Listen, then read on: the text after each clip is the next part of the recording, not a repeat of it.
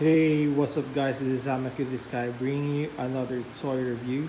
Today we are going to take a look at the DX Chogokin VF1S Valkyrie from the show Macross. This is the Roy Focker special, his um, Battroid, and together we are also going to take a look at the super parts or strike parts for the uh, VF1 toy.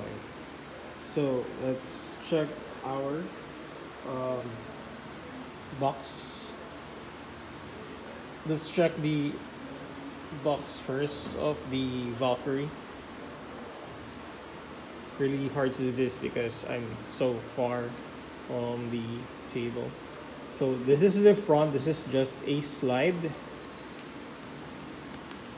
And this is the back of the slide as you can see uh, there's the Roy Focker um, Valkyrie so yeah this is a 1 by 48 scale uh, what do you call this? 1 by 48 scale VF1S figure. So let's remove the slide. So we can take a look at the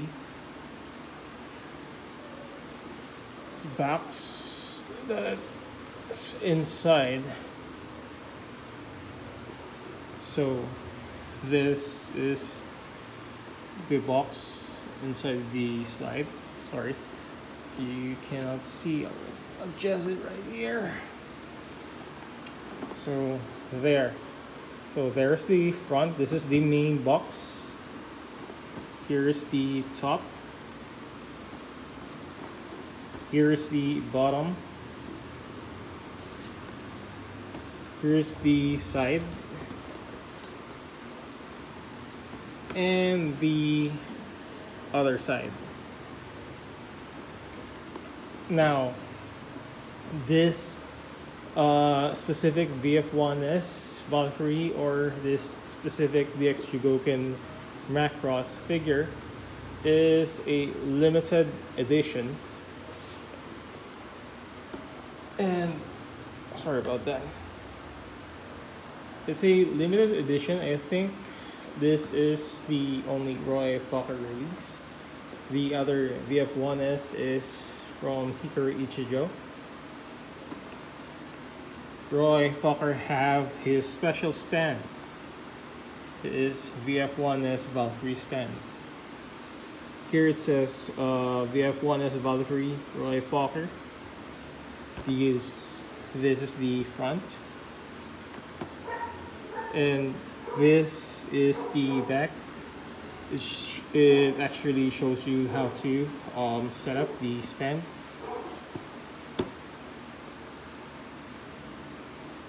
For now, let's move this to the side because I also want to show you the super parts for the VF1 toy. This is the TV version. So here is the front of the box of the super parts. The top, sorry about that. The top, the bottom, and the back. As you can see, there are missiles included in this figure. Um, the difference between the movie version and the TV version super parts is that the movie version have the option to shift the uh, what do you call this the right uh, booster to a cannon and the movie version doesn't come with doesn't come with a uh, missiles, which is why I think this is a better deal compared to the movie version, the Do You Remember Love? But yeah. I actually got this yesterday. Really, really good deal. And honestly, I'm not a huge Macross fan. I'm a fan of the NES game, the Macross uh, way back in the NES era, but the reason why I really wanted another, or well, that's a spoiler.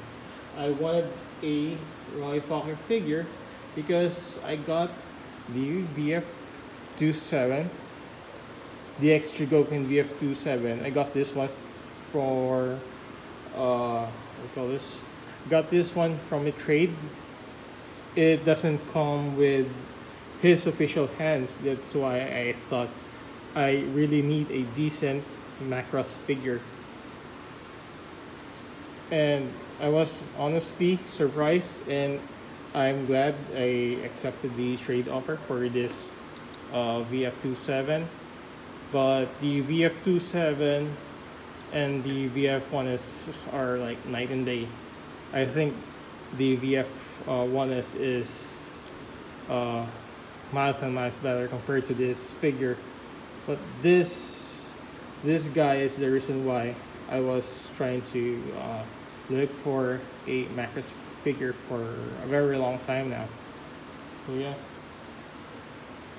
Sorry about the long introduction but yeah let's take a look at the figure. According to the guy I got this uh, from the guy I got the Macross figure he really didn't uh, transform this to Battroid or GERWALK mode. He actually just used this as a display for the fighter mode. So today, uh, this guy is, uh, today we are going to transform this guy for the very first time. Now let's see the content of the box.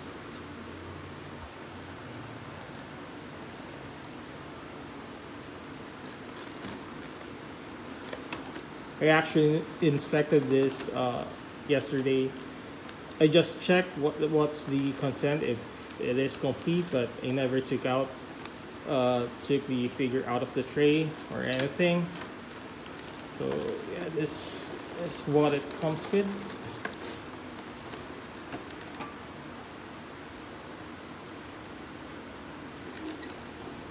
It obviously includes a instruction manual. Let's uh, since this one is open let's check the instruction manual.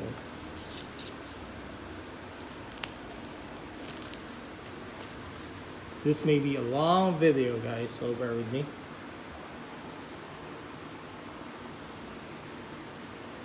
A fully colored instruction manual. This is from the anime. And this are the parts that it comes with the transformation sequence. I guess that that's it. I actually not I'm actually not sure if I can transform this figure but we are going to try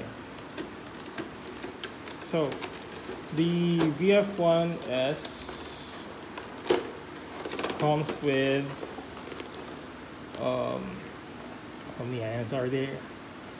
There are many hands right here. So let's check the first tray first. There are eight extra hands. The VF1 is figure, the stand for the obviously the VF1S. These are for um, filling out the gaps when it's transformed to Battroid mode. Roy Focker itself, himself, the gun, and the cover for the leg or thrusters, I'm not sure. And here we have another stand. I think this is a stand just for the Battroid mode. Uh, not sure this is the this is my actually first uh, DX Chogokin if you put it in paper because my VF27 I got the one loose or just the robot itself incomplete. Let's put this stand side first because I'm so excited to check out the figure. I've been wanting to open this figure since yesterday, so now it's our chance.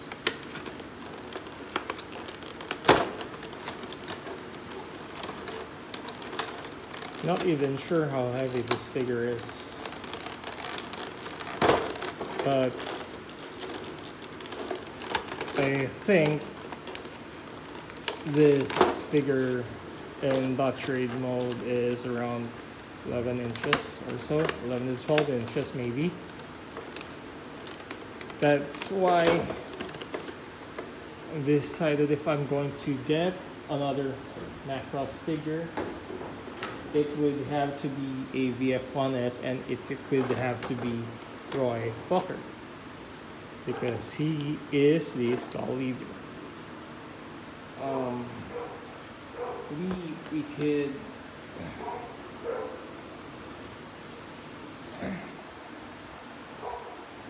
move the table closely. So there we go. Check the VF1S. It's heavier than what I expected. I'm so used to um, Soul Chogokin. I want those kind of heavy uh, robots, but this the weight of this is actually decent. So I'm not sure how to transform this. Just yet.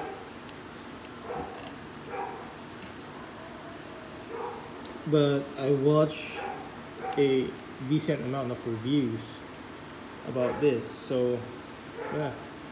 Uh, the cockpit can obviously open so you can put your pilot Roy Focker here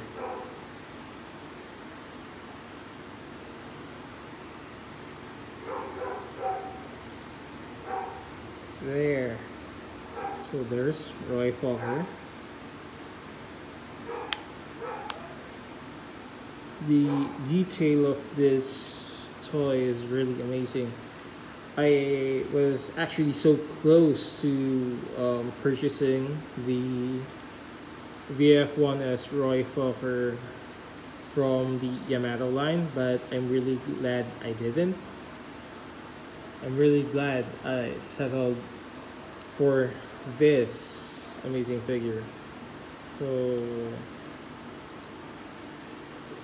yep. The articulation in fighter mode, obviously the wings have flaps here that can also uh, go here, extend here, or whatever you want. Um, I think there are there on yeah there's actually an air brake right here.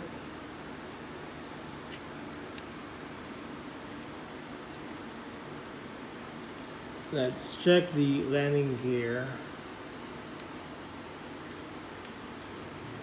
I'm going to take this one really slow because and first of all I'm not familiar with the figure again I got another figure that I am not familiar with.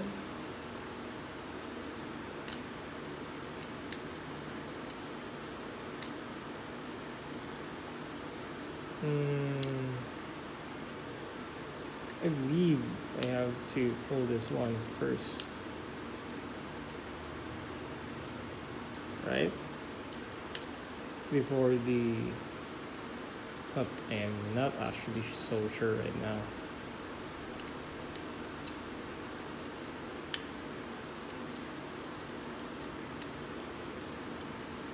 and I don't want to break my figure so let's use the tool that it comes with because I'm not so sure how to transform this and looks like the tool is actually really useless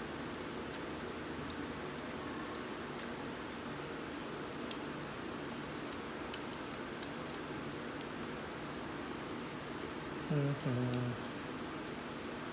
Uh-oh. I'm already having trouble. And I'm still at the landing gear. I think that's it. Maybe.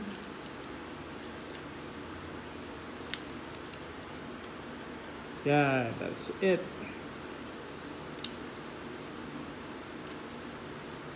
There you go. So you open the bottom part first, then you pull this uh, this part out, then uh, fold it like that, fold it flat like that, and you do the same here. You pull this one, fold it right there. Now we will so that's our first landing gear I, I think there is another opening hatch here yeah there is. So you can actually have more and push your I think you can push your wheels like that. Not sure if I'm doing this right or wrong. Then we go to the other landing gear pardon me if I'm having a rough time with just landing gear because I actually have no idea about this figure.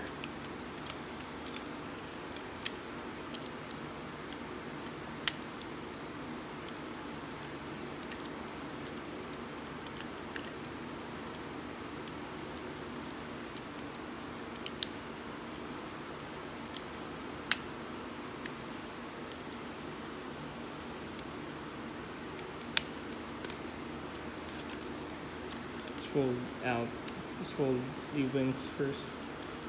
Before doing anything because man this one is so stiff. I'm not sure what's the deal figure but means the figure was not used much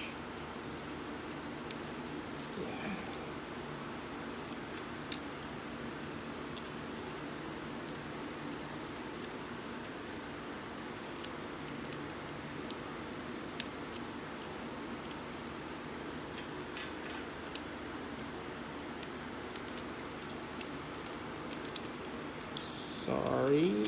Uh,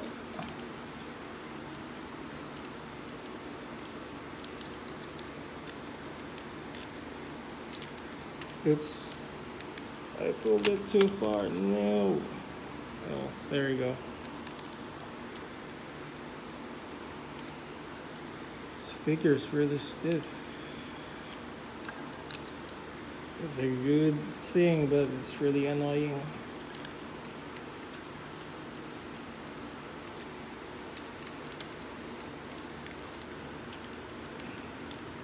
There. I'm done with the landing gear. Hold the landing gear like that.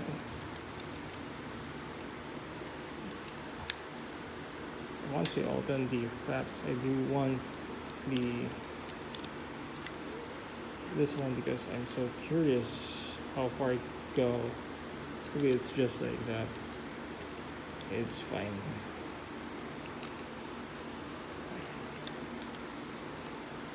So there's the back landing gear these are rubber Yeah, it's uh, rubber, rubber tires. And it's always a good thing to have rubber tires.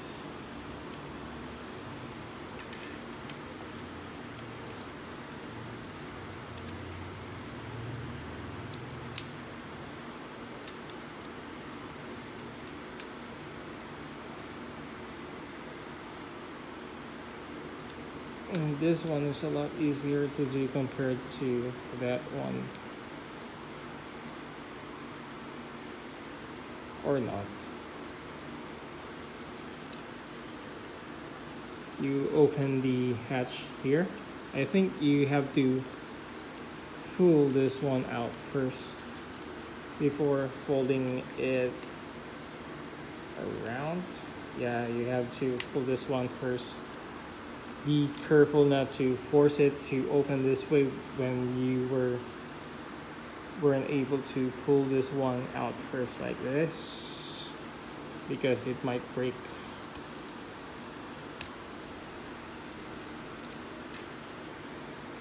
This the tool for the landing gear at the front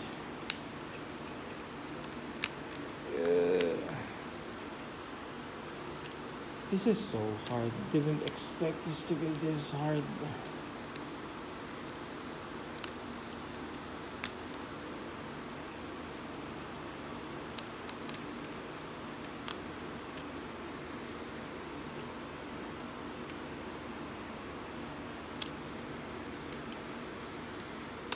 Let me check here first.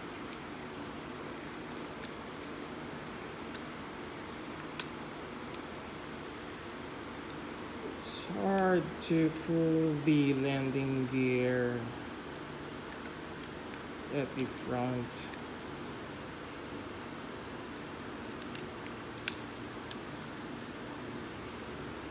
Let's try this one. Yeah, it's a lot easier to do that, I guess. So, yeah. So there. Sorry about that, it really took me a long time but at least now we have to align this first then put it here yeah. But at least now we can put our VM VF1S on display like that. Now since I have the super parts I do want to install the super super part first. Uh, let's let's still check the figure because this one is really awesome. So there, there it is, the fighter mode.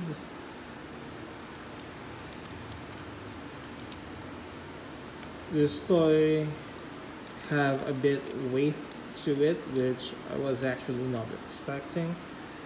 I was expecting it to be lighter, actually, because from what I can tell, the figure is mostly plastic, but the joint seams are made of die cast. So let's put the BM1 here first, then let's check the super parts.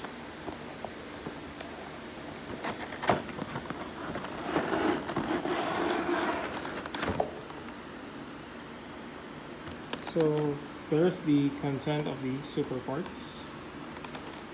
Put it at the side. This comes with a manual. Yeah, it comes with a manual, but it's not a booklet aside, is really annoying when you are buying a premium figure. So, yeah. Let's install the super parts.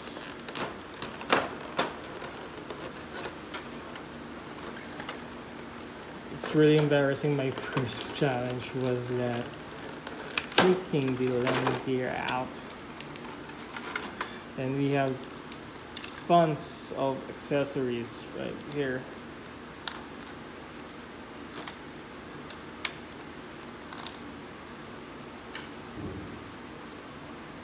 Unfortunately, I didn't watch enough video for this, but for the most part, I have a, good gist about the about what to do with the figure.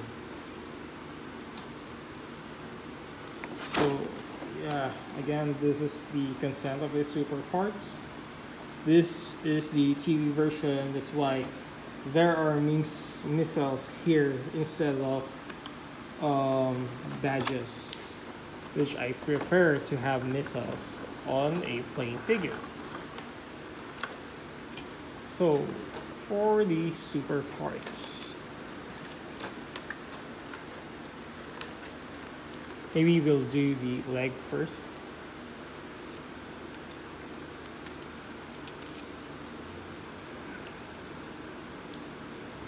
Not sure how to do this.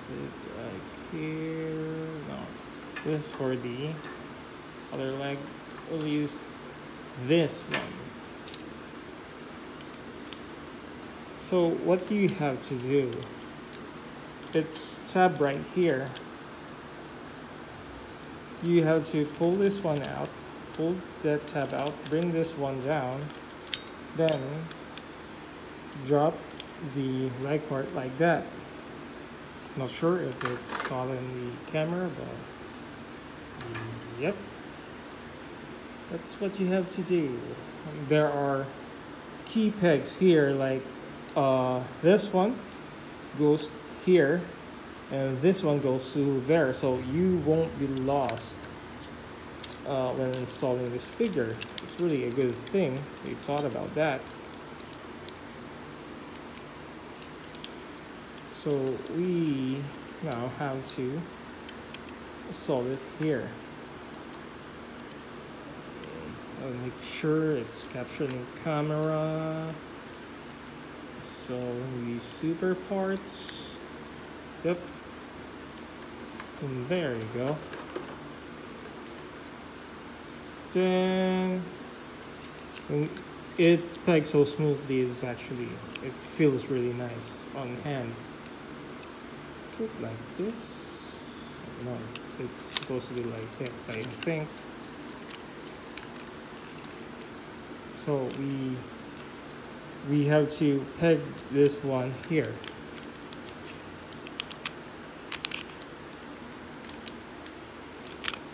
I'm actually still testing if this is the right part.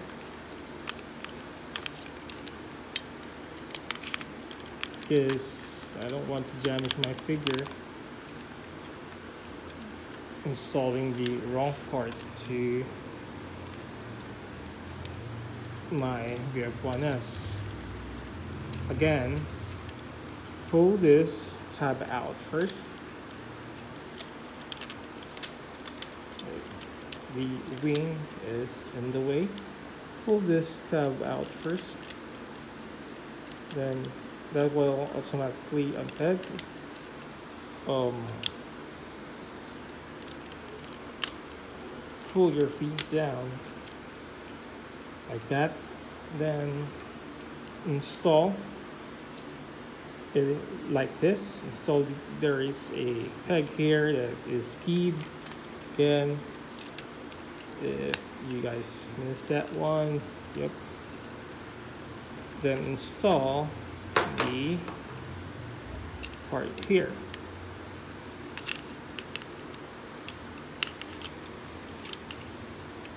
Have to do that first. So there. Now we have to install the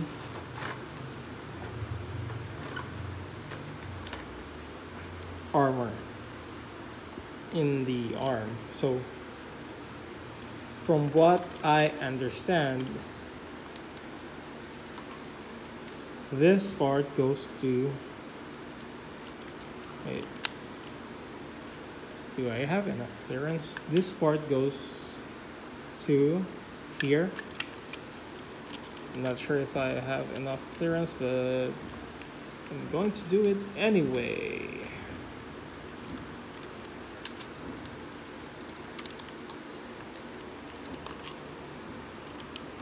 really hard to do this.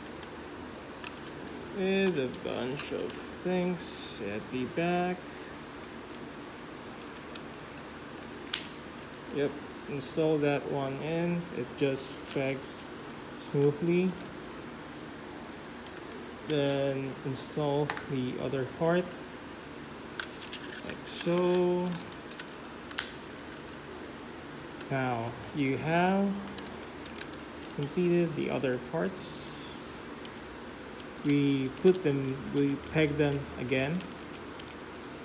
It may be a, a little bit loose for your liking, but that's fine. Don't need to worry about it too much. Now, for the fun part, the booster. So for the booster, um, you have two of these. You have to peg it here, I think, at the top.